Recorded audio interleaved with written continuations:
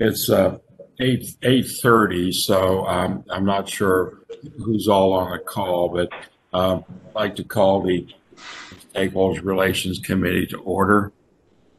And uh, the first uh, uh, item on the agenda is approval of our November 12th uh, uh, uh, meeting. And so I'd like to have uh, um, a a motion. So moved. Second, Okay, um, did I have a, a motion? You seconded it, Ann. Stephanie made the motion. Okay, I missed that. Okay. Thank you, Stephanie. Thank you, Ann. Uh, any, uh, uh, corrections to the minutes? Seeing none, do I have, a- uh, do, uh, I have a vote to approve? Aye. Aye. Aye. Okay, thank you. Aye. Now, there's only one item on the uh, agenda, uh, and um, so um, the- now Ellie, or is Ellie on? Ellie Newman? I am here. Good morning.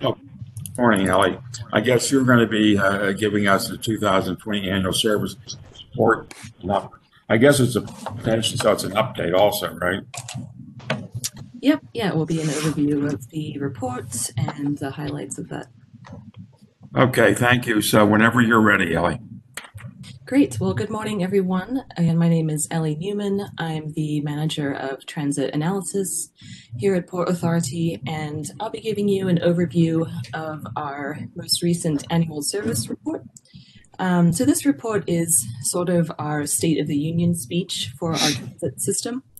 Um, so, we go through, we evaluate every aspect of our service, we compare ourselves to peer agencies and show how we're doing relative to other cities.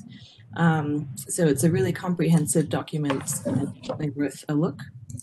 Um, and as part of this, we also evaluate service requests. Um, so these are requests that come in from the community, maybe for a new route or additional weekend service. We prioritize these and rank them in order of which ones we think would be the best blend of efficiency, effectiveness, and equity. And this report is based on the fiscal year 2020, which, as you know, is July 2019 through June of 2020.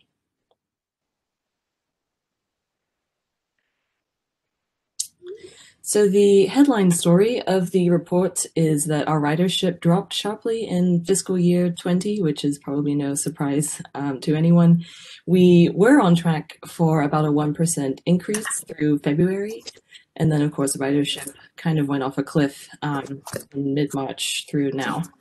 Um, so we ended up finishing the year at 51.7 million, which is a 19% drop in ridership from the previous year. I thought it was interesting to have a split out by mode and by month so that you can really see um, exactly how our ridership has changed. So here on the left-hand side, we've got the bus-only ridership uh, comparing month by month for 2019 versus 2020. Um, so you can see we were running pretty even with 2019 up through March. We had a 25% or 35% decline went all the way down to 72% in April, and then it really started to come back up to about minus 50%, minus 60%. Um, and I think that speaks sort of to how resilient our bus ridership has been. Um, obviously, there are some discretionary riders, but there are a lot of people that depend on our service to get to their essential jobs, to get to life functions like grocery stores, medical appointments, and that kind of thing. And it's a very different story when you look at our light rail. Um, you can see it went down to minus 91% in April and didn't really bounce back too much um, since then. And that speaks to how our ridership on the light rail side is just sort of less diverse in terms of the type of terms of the type of people that ride. It's very much a downtown commute oriented service. Uh, on the weekend, we've got people going to sports and special events, and really all of that demand dried up in the spring and really hasn't come back. Next slide. Uh, Ellie, let me interrupt you for one second on the modes of, of transportation. Have we done, is there something done on access also? Do we have something on that? Yeah, that's in the report. Oh, Um, is it? access came back to about a 50% um, of previous years. So that's an, that's kind of similar to our bus where there's a lot of people that are very dependent on that service um, and are still using it to get to essential functions. Thank you. Sure. Uh, so back to on-time performance. Um, this was a nice story. We've um, kind of struggled a little bit, as you can see, to raise our on-time performance for the past several years. And we ended up having about a 4% increase on both modes. Um, there's a few reasons for that. One is that we installed a new OTP system in fiscal year 20 that we think is more accurate. I think it does a better job of sort of knowing what trip the bus is supposed to hit with the schedule. Um, and so it kind of showed that we were maybe more on time than we ever thought we were. Um, we obviously go through and adjust the schedules every quarter as well to try and match the schedules to reality a bit better. So that paid off a little bit. Um, and also when the pandemic hit, that reduced traffic and congestion on the road. So we weren't getting our buses stuck downtown or getting them stuck in a bridge or in a tunnel somewhere. Um, so we were able to raise our OTP. Next slide. Um, so next I'm going to talk about our service standards evaluation. Um, so for this, we go through and we rank all of our routes based on our internal standards for passengers per hour, on-time performance, um, crowding, and a few other things. Um, for this, we only used July 2019 through March of 2020 so that we weren't including the kind of pandemic times data, which would really um, sort of muddy the waters, we thought. Uh, so for passengers per hour, we did identify some lower performing routes that weren't running as many passengers as we would like to see. Um, so we did note those in the report. Normally we would specify what we were going to do to improve that, um, but obviously with our capacity restrictions still in place, excuse me, and ridership patterns just have changed so much, we're not going to be acting on that right now. So it's kind of in our back pocket. For on-time, um, if you go back one, for on-time performance, we again had an overall improvement, but we also raised our standards. Um, so depending on the route type, we might expect an 80% on-time performance or 90% on-time performance. And so we didn't increase enough to meet the new standards. So 77% were below the standard. Um, so we certainly have our work cut out for us there. Um, and then on crowding, we have struggled for a while with having rush hour crowding problems pre-pandemic. Um, so we've noted all the routes that had those issues in the report. Um, and of course, since the pandemic, we cut capacity on our vehicles to about 30% of seated capacity. Um, and even with the drop in ridership, we've had some issues with crowding on um, certain routes where more people, more than 15 people want to get on a bus, um, and we just can't fit that many people right now. So our current focus, and it has been that way since March, um, is trying to address crowding on those five or 10 routes that have that problem um, and are having to post riders up due to our new limits. So new for this year, we did a Title VI evaluation on all of our routes. And if you're not familiar with that, um, it is a federal program to make sure that transit agencies are appropriately serving low-income areas and minority areas and are not providing worse service to those areas. So that will look at um, such things as service plan and frequency, crowding, on-time performance, and out of service. And uh, in virtually every case, we found that we were providing at least as good service, if not better, with two important exceptions. Um, so I mentioned just now that crowding has been a issue, kind of a surprising issue to some, um, with our reduced capacities. That was very much the case in low income routes and minority routes serving minority race areas. Um, and the reason for that is in late March, we implemented a kind of across the board 25% service cut, but we found that our ridership did not drop evenly across the system. So routes that serve low income areas and routes that serve minority dominated communities still having fairly strong ridership, which was translating to more crowding on those routes. So as we started to realize that, we worked really hard with the scheduling team to add back service on routes that um, were having crowding issues. So we made several adjustments over the um, over the spring and summer. Then in the most recent schedule change in November, we did a really major um, service change to address crowding, where we, uh, in some cases, even doubled service um, on routes, as well as redeploying our 60 foot buses to make sure that they were, uh, the larger buses were being used appropriately where we could put them in. Um, so we've really been working on the crowding and we think we've made some significant adjustments there. and then finally on out of service, um, this one only affected minority routes um, versus non-minority routes. Um, and when we dug into it, we realized the reason was because every route that runs out of the East Liberty division is considered a minority route.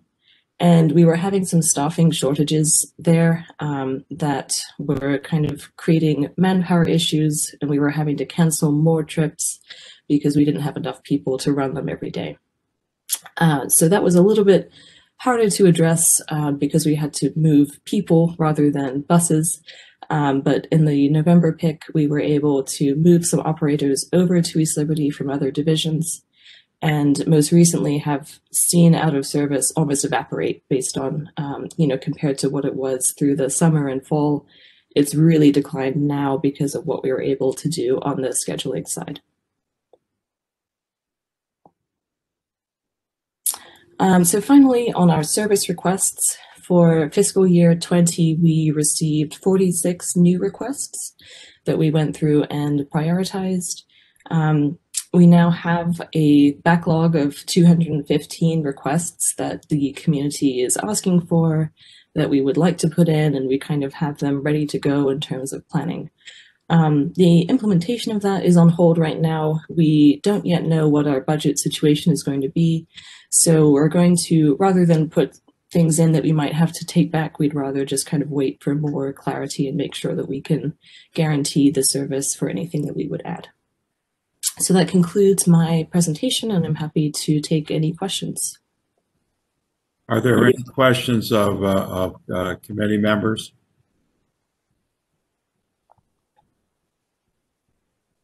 Okay, any uh, uh, additional board members have any questions? Uh, That was a very good, go ahead. I have a quick question. Um, Ellie, when we're talking about 250, 215 requests total, when we're looking at that based on planning, based on budget, all of those kinds of things, saying in a perfect world that we would have the budget, how long would it take for us to implement some of those changes? And out of the 215, what a guesstimate, and I won't hold you to it, a guesstimate, how many of those might be doable? And I realize it's going to be financial because each one will have a different cost, but what are we thinking we might be able to do? Sure.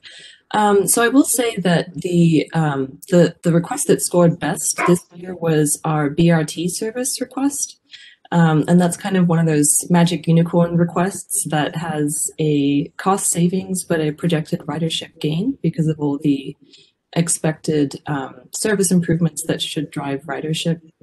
Um, so that one we think would have a fairly strong chance of being implemented, um, possibly early, but certainly when the BRT um, service goes into effect in 2023. Um, I will say that the the list right now is many, many millions of dollars if we were to implement things, um, and to increase them to im- implement all of those requests. I would think we would need to expand to a fifth division. Um, so it would certainly be a very, very large undertaking, but I think it's helpful to see the scope of the service that we're being asked to put in relative to what we can put in, just to show how much demand there is that's kind of untapped in our area for more transit service. Okay, that's interesting, um, that we would need to go to a fifth division for you to quantify it in that way. Okay. All right. Thank you.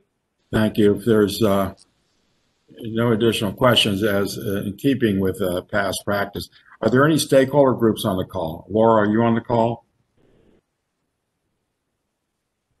I'm a little surprised that there's no stakeholder groups on the call, but anyways, um, uh, if there's no uh, further questions, uh, very good presentation.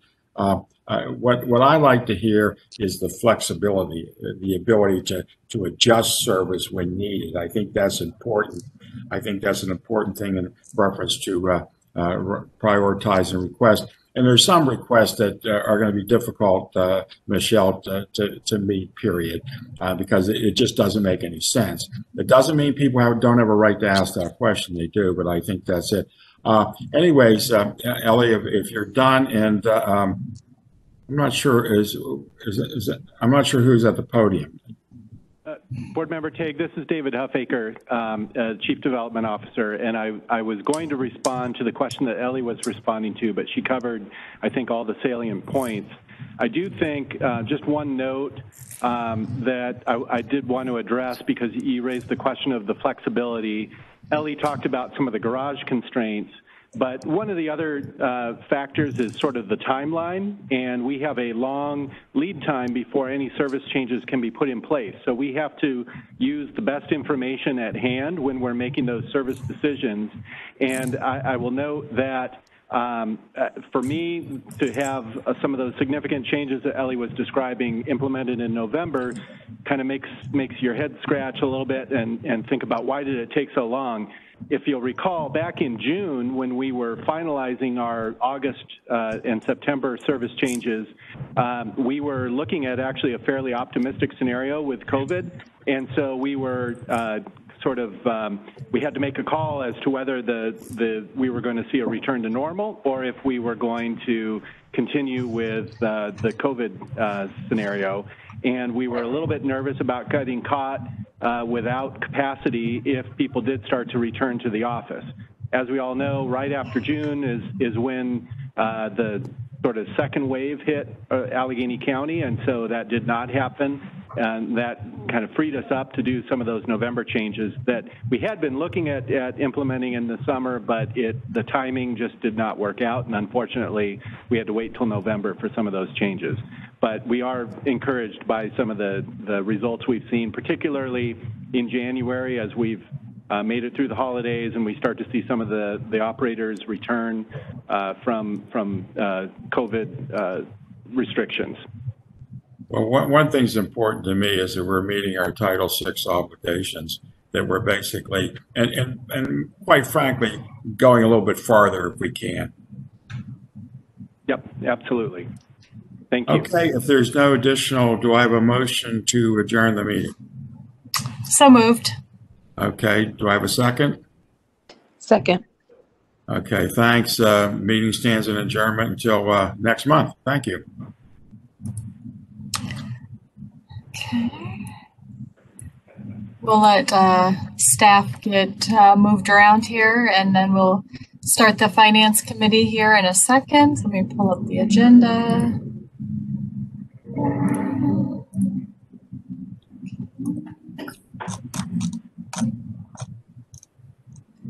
Okay, I will call to order the Finance Committee on January 21st, 2021.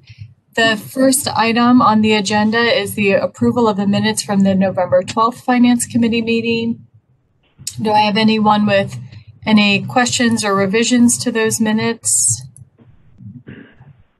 Could I have a motion to approve the minutes? I'll move to approve. Okay, and a second? Second.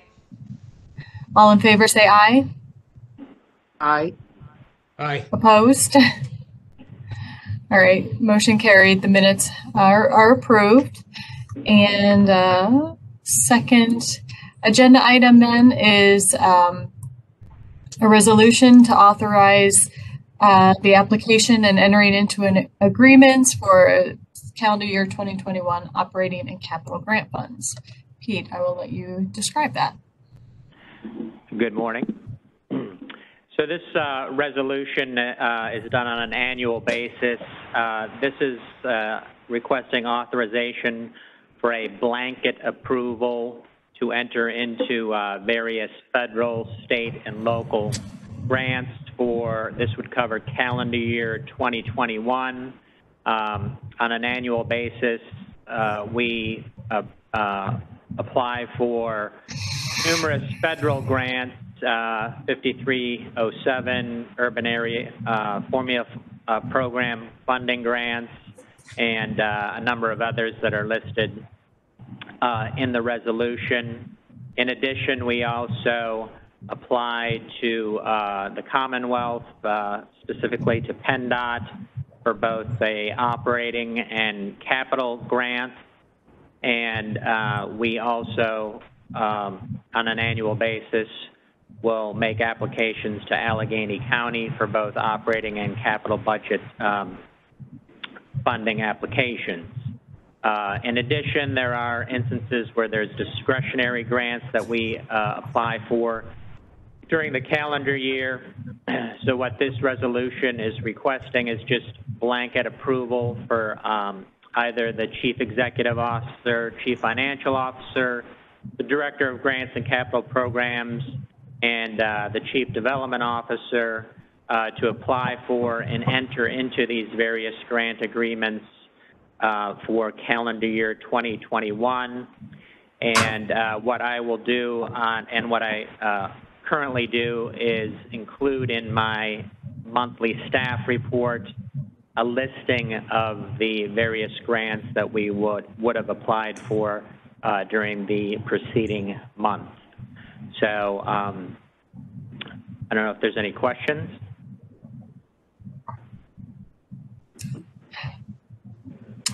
Uh, I do not have any questions. Anyone else from the committee or the board? I All right. don't. Thanks. Um, do I have a motion to uh, recommend this for the board's approval next week? So moved.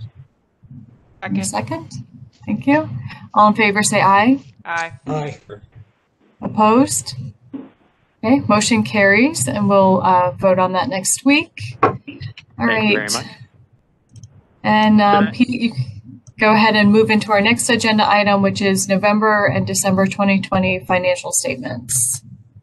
Yeah, so we're, we have double duty this month uh, since there was no um, board meeting in December. So I will uh, review quickly uh, the November since they're very similar uh, to the December results. Um, But um, total operating income for November was uh, about $5.5 million below budget. Um, Every income category uh, was below budget for the month. Uh, That includes passenger revenue, which was $4.7 million below budget. Our total operating income year-to-date through November was $28 million below budget. Um, Likewise, all in- operating income categories uh, through uh, the first five months of the fiscal year were below budget. And uh, as I've stated at uh, prior monthly meetings, this variance uh, can be indirectly recouped through our CARES Act funding, and and I do have an update uh, on our CARES Act uh, invoicing to date uh, later in the presentation. Okay? Uh, Jeff, can you hit that? From an expense and subsidy uh, perspective, our total expenses for November were $2.9 million below budget with every expense category other than wages and salaries uh, ending the month of November below budget. Our expense through November was $20.5 million below budget. Uh, Likewise, all expense categories other than wages and salaries ending um, uh, the first five months under budget. Our subsidies for the month of November and year-to-date uh, through November uh, were above budget, and that was principally due to higher state operating assistance and uh, the fact that we're using CARES Act funding, which um, was not uh, a budgeted item. The state operating assistance variance uh, is strictly a timing issue, and this is expected to normalize by the end of the fiscal year. Hey, Pete, I had a quick question on the um, on the expense side, it looked like other expenses were 2.5 million over budget. Um, maybe that's a year to date. I just was curious what that what that was. You mean uh, from from last year? Yes, I guess it was comparing the fiscal years. Yeah, that, uh, last year we did receive a um, um, an insurance reimbursement that I believe is uh, that uh, uh, reduced last year's last year's total. But I will uh, Ah, verify that and um, send out an email to the uh, to the board to that effect. okay, just checking. Thanks. Um, yeah, so for the, so year-over-year results for November, our operating income was twen- uh, $27.9 million below last fiscal, fiscal year's total. Uh, 25.2 of that was due to the lower passenger revenues as a result of the pandemic. Our expenses, uh, year-over-year through November were $4.3 million above last fiscal year. That's due to higher wages and salaries, uh, benefits, and other expenses. Our total subsidies, uh, however, $12.8 million above last fiscal year, and that's due to anticipation of total operating assistance being higher than last year, then also the fact that um, we're receiving CARES Act funding in the subsidy category, um, which was not in last year's uh, actuals. Any questions on the November statement?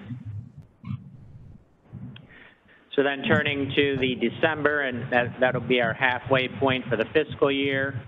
Um, our total operating income for the month uh, was $5.6 million under budget. Very similar to uh, no, November. Uh, our passenger revenues were 5.17 million under budget uh, due to the continued low ridership as a result of the pandemic. At our midpoint, our uh, total operating income is $33.6 million below plan. Every re- revenue category is uh, below plan at the mid-year, and uh, we are making up that shortfall with our CARES Act invoicing. For expenses and total subsidy, our total expense for December was 626,000, uh, $626,054 uh, under budget. I should mention that uh, in employee benefits, we did have to make a $1.82 million retroactive uh, catch-up payment to the ATU pension plan. So that's why that category was $1.22 million over budget. And that's just based on what um, the market results are um, of the pension plan. So um, it can, it, there can be years where if market results are, are better than um, the actuarial um, anticipated amount, it could flip the other way. So Okay. uh, Utilities exceeded budget due to higher propulsion, telecommunications, and natural gas expense. Good news, at the midpoint of the fiscal year, our total expenses are 21.1 million below budget, with every category other than salary and wages below budget.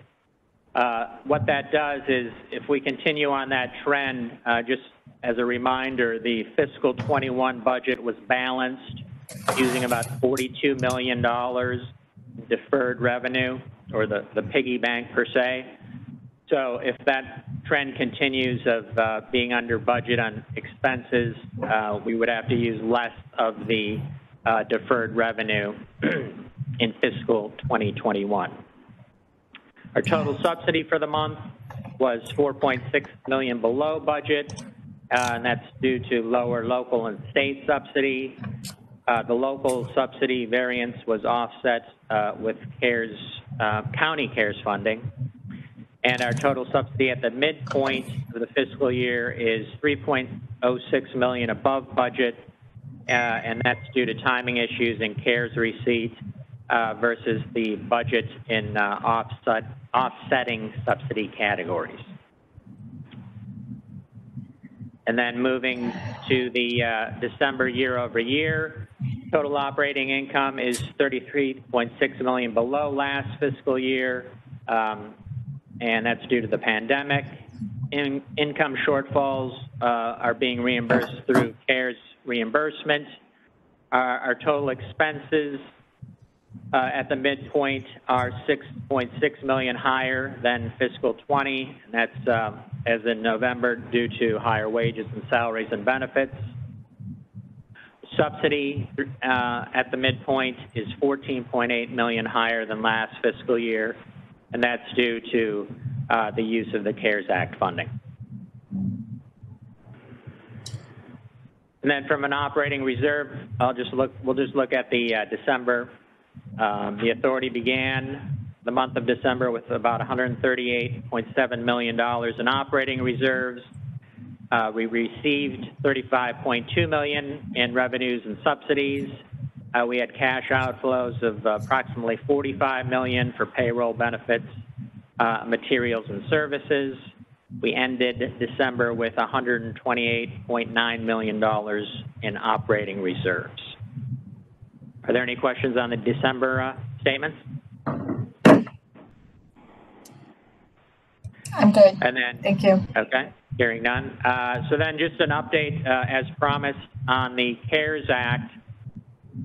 We received, now this is the first slug of CARES Act money. Uh, We are still waiting from uh, SPC to get the final update on the uh, second uh, federal stimulus.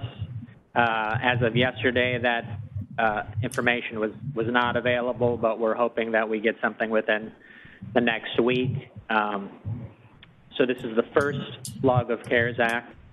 We received $141.72 million of the uh, urbanized areas allotment of 162.18 million. We've invoiced 55.8 million. Uh, This is through September.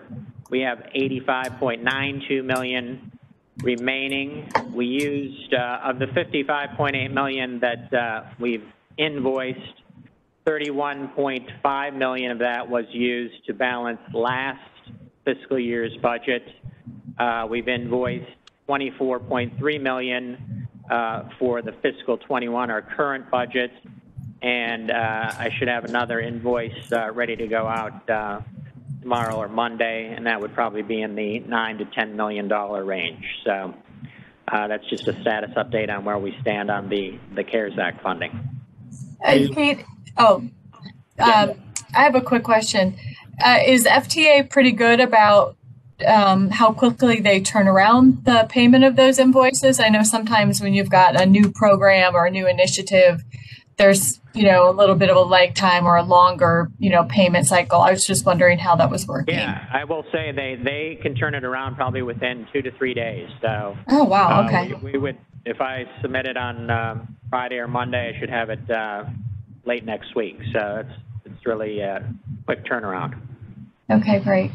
I'm sorry, John. Did you have a question? I cut you Yeah, off. just, uh, just had a question on the uh, operating income. Now, I'm assuming that the, the operating income, uh, the reduction in that was at the, uh, at the, uh, um, at the end of the fiscal year? And so, in other words, I was trying to determine whether we could only use that COVID money for loss connected directly to uh, COVID. Um, yeah, it's it's kind of cumbersome how they they go about doing it. Um, you have to identify expenses that no longer are supported by lost either revenue or subsidy. So, so for instance, the Port Authority, we have a number of expenses that are already covered through federal money in our operating budget. Uh, preventive, our preventive maintenance program, which is a lot of um, uh, Don Rivetti's uh, preventive maintenance on the on the bus side. Um, that's 80% federal money, and it's about 28 million dollars uh, on an annual basis. So we have to be very careful that we don't identify expenses that are already being uh, funded by the federal government.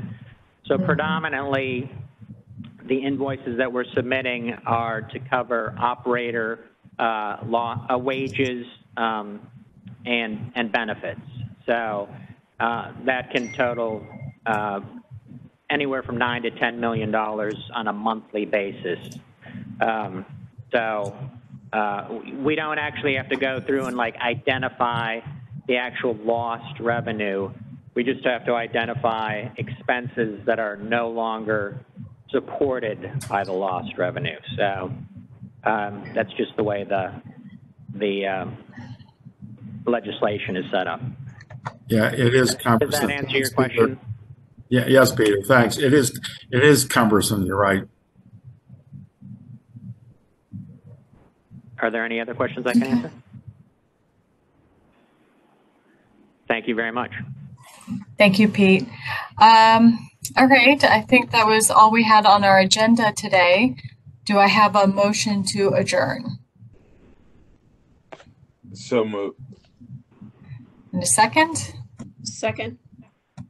Thank you. Um, we will uh, touch base again next month. Thank you, everyone.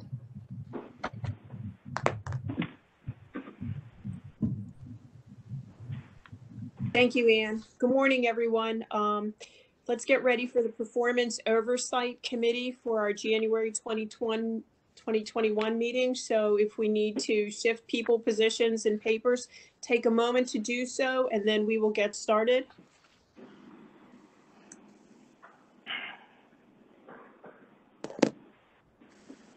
Okay, I'm seeing that we already have someone at our, our podium. Tony, is that you this morning? It is me.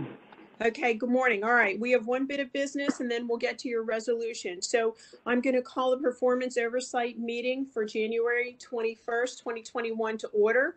Our first item of business will be the approval of our meeting minutes for November of uh, 2020. We had no December meeting, so we're approving the November meeting. Um, And I'm just asking for a motion to approve these minutes. We are going to check the attendance though, just to make sure that we had everyone's um, name. And uh, Jeff assured us we do have a recording, so we'll be able to figure out who was here and who was in attendance because we need to check um, that staff. So that was back in November. So after uh, a review of the meeting minutes, does anyone have any changes or corrections other than checking our attendance for our minutes? No, I make a motion to approve. Thank you, Austin. Do I have a second to approve our meeting minutes, please? Second. Okay, great. Thank you, Jeff. All right, so our November meeting minutes are approved. Moving forward to item number two, our proposed resolution. So good morning, Mr. Trona. How are you? Good morning, Madam Chair. Thank you. I'm very well. Good morning, uh, committee members. I have five items for your review and presentation to the full board for approval. The first is biodiesel fuel. This is a change order. At its April 2020 meeting, the board authorized an agreement with Guttman Energy for the purchase of uh, biodiesel fuel for a one-year period with an option for a one-year period. The contract permits the staff to look into future pricings in order to stabilize the authority's fuel budget. At this time, staff is requesting the second-year option period to be exercised to enable the authority to take advantage of current futures marketing prices at this time that would benefit the authority. Since 2018, Guttman Energy has successfully completed the biodiesel fuel contract, and staff concludes that they have performed well throughout the duration of these contracts. So our recommendation is that the amendment be executed with Guttman Energy in the estimated amount of $12,729,600 to exercise the optional one-year period. This will bring the total contract value to $25,459,200. Um, this price, this price for the additional one-year period is in accordance with the agreement. We've done this um, as a strategy since I've been the director to uh, go out and get future pricing to stabilize our pricing in the futures market. As the price changes daily, hourly, uh, John DeAngelis follows it very carefully. We read up on the on the market, and we're able to uh, go out and get pricing at that time because it changes so rapidly. So by approving this option year gives us that, um, that benefit. Number two, 40-foot low-floor diesel transit coaches. This is also a change order. At its June 2016 meeting, the board authorizes an agreement with Gillig for the purchase of 70 40-foot low-floor coaches with an option to purchase up to an additional 400 coaches over the next five years. At our October 2017 meeting, the board authorized a change order to purchase 69 coaches, November 18, additional 59 coaches, and November 19, additional 54 coaches. There is a need for the authority to exercise this option in order to continue the process of replacing existing vehicles which are 12 years old and have excess of 500,000 miles. The staff has identified an additional 40-foot coach requirement, four spare engines, and four spare transmission packages to continue the replacement program. So our recommendation that the contract be amended and executed with Gillig in the amount of $21,542,428, uh, which will execute the 40 additional uh, low-floor coaches, spare engines, and transmissions. The price for these additional coaches and engines and transmissions represent the pricing received through the purchase of the uh, coaches in the original uh, contract from 2016. Number three, the remaining three items were all uh, dis- are- are advertised and our e-business documents were distributed. Number three is diesel engine oil. Five firms accepted our invitation, four bids were received for engine oil over a one-year period. It's our recommendation that the contract be awarded to the low responsive responsive bidder, which was Allegheny Petroleum, estimated amount of 248000 over a one-year period. This price represents a 2% decrease from the previous contracted price. Number four, deep cleaning, disinfecting, and efficacy testing reporting at PAC facilities. 17 firms accepted the invitation, 12 bids were received for this deep cleaning of facilities over a two-year period. The low bidder stated that they were unable to hire the manpower to complete the services as specified in our, in our contract and could not complete an agreement accordingly, therefore is ineligible for award. Our recommendation that the contract be awarded to the low responsive responsive bidder, which was Terminix Commercial, estimated amount of 194000 over a two-year period. The low bidder in this case was GDI Services. The difference from their price to the, our recommended price is approximately $14,000. Number five is bus batteries. Nine firms accepted the invitation, six bids were received for AGM-type batteries over a two-year period. The low bidder that proposed that, uh, uh, items that were not in compliance with our technical specifications, therefore ineligible for award. The second low bidder also proposed items that were not in compliance with our technical specifications and therefore is unable to uh, be eligible for the award. It's our recommendation that the contract be awarded to Northeast Battery and Alternator in the estimated amount of $202,680 over a two-year period. This price represents a 3% increase from the previous contracted price for this two years ago. The low bidder was East Penn, and they quoted, uh, the difference between their quote and our recommended is 34,000. The main specification in this contract was cold cranking amps, and they were significantly lower than what we've specified for our buses. The second low bidder was Interstate Batteries. They also did not meet the specifications for cold cranking amps, and their price difference was 21,000 to the recommended price. That completes my report. If you have any questions. Thank you, Mr. Trona. Do I have any questions from our committee members for Mr. Trona on any of these uh, proposals? No, thank you. Okay, from the wider board, do I have any questions from any of our other board members for Mr. Trona? Hearing no other questions, could I have a motion to move this forward to our board uh, for the full meeting next Friday? So moved. Do I have a second? Second. Thank you very much. Motion is approved and is moving forward to our full board meeting on Friday. Moving- Thank you. Thank you, Mr. Trona. Moving forward to proposed resolutions, item B, authorization to extend agreements to private inspection and engineering services with Mr. Greg O'Hare. Good morning. How are you doing, Mr. O'Hare? I'm doing well, thank you. Uh, and yourself? Doing great, thanks. Can you hear us okay? Yes, I can. Can you hear me? Yep, we can hear you. Thank you. Well, good morning and happy new year. Uh, I'm Greg O'Hare, Assistant Director in the Engineering Department. And this resolution is an authorization to extend the agreement to provide inspection and engineering services. It's a work order based contract to perform inspection and engineering services. Some of the work performed under this contract are the federally required inspection of authority owned bridges and tunnels, as well as other inspections related to engineering services. On the right of the slide, you can see uh, bridge inspection that is ongoing out near the, uh, the West Busway. So the original agreement was executed in May of 2017 when GAI Consultants Incorporated and SAI Consulting Engineers Incorporated. Initial four-year term a one-year option. Initial not to exceed amount was $11 million. The current agreement expires May 31st, 2021 this year.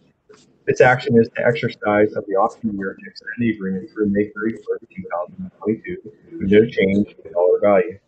To date, the services have been completed in a satisfactory manner. We respectfully request approval of resolution authorization to exercise the extension of the one-year option with no increase in total contract. Thank you. Great, thank you. Do I hear uh, any questions for Mr. O'Hare from any of our committee members? I make, no, I make a motion to approve. Okay, great. Thank you, Austin. Do I have a second for the motion to carry forward? I'll second. Thank you, Mr. Letwin. Motion carries. That's item B to the full board meeting. Our final authorization then is for settlement of public liability claim with Mr. Mike Setra. Good morning, Mr. Setra. How are you? Good morning. Uh, Good morning, Madam Committee Chairwoman and committee members. Uh, This resolution would authorize Port Authority to settle a public liability claim. An accident occurred on the morning of August 4th, 2016 at Port Authority's Collier Garage. Uh, Leo Hefferon, a tire technician for a subcontractor providing tire inspection and replacement services to Port Authority, was checking the tire tread depth and pressure on a rear bus tire when the bus began to move. Mr. Hefferon fell and suffered various injuries as a result of this accident and submitted a claim for monetary damages to Port Authority. Uh, Following negotiations between the parties, we have agreed, uh, subject of course to Port Authority Board approval, uh, to fully and finally settle Mr. Hefferon's claim for the total amount of $150,000 with no admission of fault or liability by the authority. Uh, Subject to any member questions, I would respectfully request that the Performance Oversight Committee recommend this resolution authorizing Port Authority to settle this public liability claim and a release form approved by legal counsel to the full board for approval. Thank you. Thank you, Mr. Setra. Any questions from our committee members on this issue? Any questions for our full board members for Mr. Setra on this issue? Hearing no questions, then I would entertain a motion to move this forward and a second. So moved. Thank you, Second. Austin. Is that Mr. Letwin? Yep. Thank you for seconding. Um, all in favor, please say aye. Aye. Okay. Great. Motion carries, uh, to our full board meeting. All right. Thank you. Um, Thank you so much. I have no further business on our agenda, and so I would, uh, request a motion to, um, adjourn. So moved. Second. Yeah, second. All right. Thank you very much, everyone. Okay, thank you, everyone. I'll give a moment for everyone to shift to their next meeting. We'll be starting the Technology Committee meeting in a moment. I believe we have um, committee members available for the meeting, and there's no action items beyond approval of minutes. So um, Jeff, if we can, can we move to the agenda with approval of minutes, or I can just do that? Does it, yeah, okay, we're gonna go there. So first, I believe the first item, though, is the approval of the minutes from our last meeting, which was in November of 2020. My, I- if everyone had time to review the minutes, I'd ask for a motion to approve. So moved. May I have a second? Second. All those in favor signify by saying aye. Aye. Aye. Aye. Opposed? Okay, motion carries. Thank you very much. We have no business items on the agenda um, beyond the approval of the minutes, so I'm going to ask our technology department to go through a very exciting presentation that I reviewed last night um, for an update on our mobile ticketing service um, program. So please move forward. Cool. Good morning. Thank you. So uh, Mike Veltri is online with me here today. Uh, Mike is the project manager working through the, he's really knee deep in the day-to-day activities on this. Um, so he gave me the pleasure of getting to present this to you. If we have any questions, we'll bring Mike in uh, to answer any questions that we might have. So let's talk about the project for mobile ticketing services. We're in the current phase of installation and preparations, and this really includes installing validators on our bus and a rail and inclines and setting up the actual app that folks will be able to use from their mobile phones. And we're in the middle of that phase right now. Uh, the next phase is when we'll activate the base services, and then we'll be able to follow that with some other phases, including cash digitization and vendor portal and some other future things. But we really need to get through these first two phases first. As I think back to this, back in 2019 when we presented this project, and, and we gave kudos to procurement and legal for all their work getting us to that contract phase. And I look at what has occurred over the past year. It, it's frankly amazing. And I think about what Masabi, our vendor, has had to deal with. Uh, with everything that occurred in 2020, I don't think we need to go down that road again. They were using folks in Germany in their garage preparing cables. They had people across England using their living rooms to stack and pack boxes together. We actually think uh, the one engineer has a FedEx distribution site on his front stoop sitting in London so we could get all this equipment here to be able to install it. And then once it got here, such great work, and, and thanks really to all of our maintenance managers at the garage, the radio repair team, um, marketing and legal working on trademark and legal, uh, Chuck Percoffey and his team helping us work through goofy little uh, connection issues that we were having trouble getting on the bus. And, and, looking forward with our rail side, we have the engineers over there, we have the managers, the techs that are all working through this. It, it, and not even, we have to also thank our bus instructors who help our operators understand how to use this. So this project has touched almost every aspect of this entire agency already, and we're still in the first phase of it. So I find it really amazing the progress that we've been able to make in the past year. So it gives me really great pleasure to present to you our trademark name, Ready to Ride. It's all about planning, being able to pay, ultimately go, and doing it in a mobile and fast, fast way. So the trademark has been uh, presented.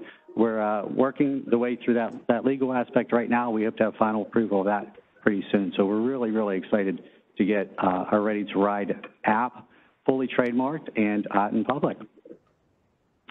So let's see what the app looks like on your phone. It has that little white icon with the uh, blue Ready to Ride typeface on it. And when you tap that app, it opens up with a variety of options. You can buy your tickets right here using a credit or debit card. It shows your tickets in a wallet, both current and past, so you can see your past history of tickets you've bought. Uh, we have links out to many of our other apps and services, being tracking vehicle and our other trip tools that we make available to people, and, and the usual how to ride and help uh, FAQ type services. But we didn't stop and we didn't want to be insular here at the Port Authority.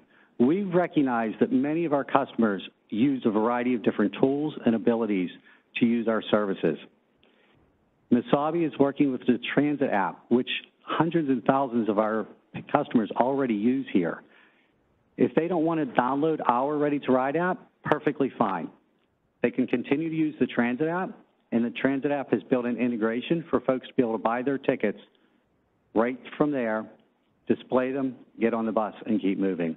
So we're really giving our customers great flexibility and choice here that not only are we putting that ticket vending machine in their pocket, we're doing it through multiple channels. They can use our Ready to Ride app, fabulous, or if they want, they can use the transit app and keep rolling forward with that. So let's see what it looks like. So when you open a ticket on your phone, it, it, shows this highly secure validation code. It's a QR code similar to what you might use if you fly and you have a boarding pass. This shows on your uh, screen of your mobile device, and it actually changes every millisecond, which is, uh, helps reduce the fraud. If the validator isn't working for some reason on the bus, uh, the customer can simply show to the operator, and they can see through the date timestamp that it is a valid pass for them to be able to use. So what's this validator thing? So these are new validators that we're installing on our bus, our incline and a rail system. And if you're able to see me, I have a life-size model of it here in my, in my hands. Uh, they've been installed on pretty much all the buses at this point. Uh, unfortunately, due to some of the uptick in activity last November, we had to halt installation, so we, we'll be picking up bus installation here next, uh, next month, we hope, to finish up the rest of the bus fleet. Uh, we'll also be installing them on the rail and the incline as we move forward.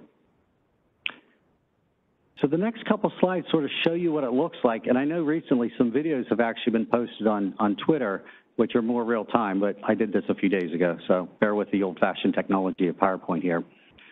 So this is what the validator looks like on the bus, sitting there waiting for a customer to come up. This is our hand model, walking up to the uh, validator, and the uh, app is being displayed on that phone there. As they wait a second or so, the validator gives a positive uh, green ding, and it shows a valid so that the operator is able to see that the person validated their ticket and they can go on their, with their way. We're actually using the same tones and colors that are used on the existing Connect card system. So while these systems are technically separate, folks can decide to use the mobile services or the Connect card, whichever ones they want to use. But to the operator, we're trying to make it as seamless as possible in the way that the, the validation occurs, even though there's two different devices in play there. So we're excited to finally get to pilot number two. We'd actually finished pilot number one at the end of February of 19. Early March, we gave Masabi the go-ahead to start shipping the validators to us, and well, I won't go down that road again. So pilot number two, we just announced this week. It'll start uh, February 2nd of 2021. We've uh, put a public invitation out. We're looking to get about 300 to 400 customers, and we're getting very close to that number already, who are self-selecting to want to use in, in this pilot mode, either the Ready to Ride app or the Transit app, whichever one is of their choice. Now, because the validators are only on the buses at this point, this pilot will uh, be on the bus lines only.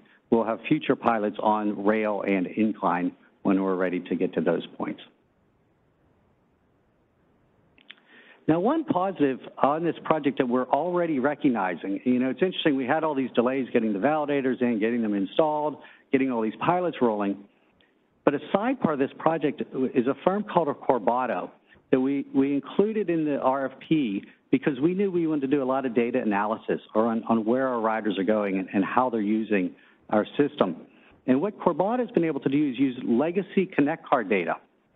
And uh, this is an, uh, Ellie actually ran this project. They wanted to get some, some data on transfer and direct trips uh, around Oakland where people were getting on and people were getting off.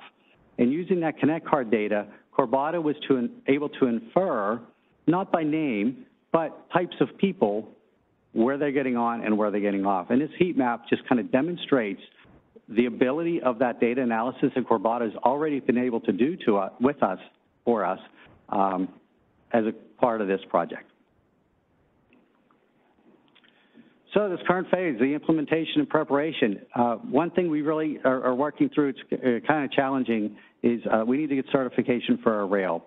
Because our, our trolleys uh, go underground, we have to get special FTA certification. Uh, that process is ongoing and takes quite a, quite a long time. So that is one of the critical paths for us, and it's ongoing.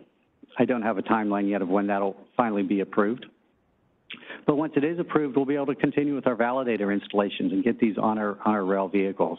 Uh, we're also going to be installing uh, validators on our rail platforms, along with our fare booths that already exist, and also on the incline for folks who are coming in from out of town or use the incline as their method of commute. So once those are installed, we'll be able to move forward with some more pilots. We're going to activate the stored value feature and test that out, and then incline and rail. Another uh, critical path aspect for us is late in 2020, we were directed that we need to do a Title VI analysis. And, and Ellie mentioned earlier the Title VI analysis really tests that equity of the new uh, service that we're providing out. So it's a little bit challenging, challenging in this time where our ridership is a little bit off. But Ellie and Amy and lots of other folks are working diligently to make sure that we do the adequate amount of analysis to make sure that the addition of this new service does not uh, inadvertently negatively affect any of our customers. And that was supposed to take an hour and a half, but I made it in like seven minutes. so, do I have any questions? Thank you, um, Jeff, and thank you for the seven-minute presentation, and that's right up my alley. Um, I do actually have one, but I'd like to permit um, the members of the committee and the board to ask first if you have any. So please, if anyone has a question, please feel free. Jen, I have a point, but it's legal, and I'll let you go first because mine will just bore everybody. Well, um, I'm glad you said it, Jeff, instead of making me say it. Um, now, um, I, I also did want to note um, Representative Ms. Gorski is on the call. She's having audio issues. She had sent a note, and I told her that I'd be happy to mention that she apologizes for not being able to participate. She's participating, but you just can't hear her. So I just want to make a note of that for the record. Hey, Um, uh, Jennifer, it's John. yes, John. I just had a quick question, and of course, um, can you talk a little bit about the accessibility of it? Thanks, John. You know, I was supposed to mention my thanks to the CAT committee. and I knew I was going to miss one, and I knew you were going to catch me on it. So, yes, what we actually did was uh, back in January of 19, December of, I'm sorry, December 19, January 20, we worked with the CAT committee over at Access Transit, and we and we had a, a sample validator. Back then, it was made out of cardboard because we didn't have a, a real one in yet. And what we did is we we talked about where could fit and where it should fit on the bus to be the, the, the best location for everyone involved. So yeah, we absolutely worked with with the CAT committee on on the validators for the bus. And in February, I'll be going back to the committee with the uh, location for the rail on where we are looking to install it on that also. Well, from my perspective, it looks like it's it's more accessible than uh, uh, the the fare box. Um, of course, you know when I was looking at you using your phone, um, my phone's a, a little heavy, so trying to use the phone might be difficult. But the fact of it is, it looks like it's at least more reachable than the fare box. I just wanted to note that, uh, Jeff. Thank you, John. Uh, thank you, Jennifer. Sure. Um, if, if I may, the question that I have relates to there was testing of other um, modes in which you could get on the bus. So we have our Connect card, we have our um, phone, but there was also testing of bracelets or thoughts of other items that could be utilized um, for individuals. How does this software technology um, sync with that, or is there a thought that we would need to do some steps down the road in, in order to continue with that process of providing other means for people to be able to um, utilize devices to go onto the buses and light rail? Yeah, good question. So at this time, we are keeping the Connect card system and the Connect band bracelets completely separate from the mobile ticketing services. We need to focus on really providing that ability for folks who want to use their mobile device to start using it as quickly as possible. There are possibilities that we're going to explore down the road of how we tie those systems together but we really need to get through phase one, two, and three before we can start looking at how we tie them together closer. At this stage, we have a very established Connect Card uh, customer base. They're welcome to continue using Connect Card. When the Connect bands finally start to come in, I know there's a shipping delay on those. Those folks, folks who use Connect Band will be able to use those also. This provides yet another alternative for folks, and it's by choice of the customer which one they want to use. Oh, that's But great. There are, there, there are options on the road that we are exploring. We can't get to them until we really get through the first few phases of this project. I think that's great, Jeff. I just wanted to clarify, and I apologize for the Connect Band because I know that was out and tested, and people excited about that. And so it's nice that this technology is going to still allow for that mode to be used as well um, as the smartphone to be. I think this is great and great progress, and I think you know not only Catherine and the team, but you guys in your division should be very proud of the progress. Uh, if there's not any other questions, are there any questions from members of the board? Seeing none, I believe that was the end of our presentation and technology committee today. So I'd like a motion to adjourn, please. Oh, sorry, Jeff. Wait a minute. Jeff, you had a comment. Please, Jeff, I apologize. That's okay. It's, it's technical, it's legal, and I don't want to bother everybody with it, but I don't know how important, um, Jeff, you feel this Ready2Ride trademark would be for protection. You're using a copyright note there, which doesn't give you that protection.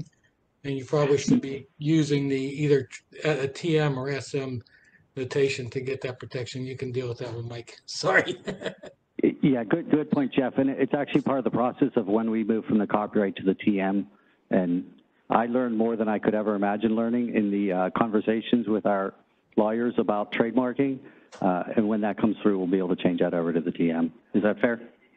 Yeah, I mean, you- as soon as you use it, you should start, you should start doing that. So I don't know what they're telling you, but you should do it now, as soon as you file. Good point. We'll check on that. Okay, thanks, Jeff. Sure. Okay, um, any more questions or comments? No, seeing none, I'd, um, like a motion to adjourn, please. So Motion moved. to adjourn. Second. Okay, um, all those in favor, aye. Aye. And I believe that concludes our committee meetings for today. So on behalf of the Port Authority and all the other chair members and the chairman, I'd like to say thank you to everyone and please stay safe and well. Okay, have a good day. Thanks. See you all Thank Friday- you. next Thanks, Friday. everyone.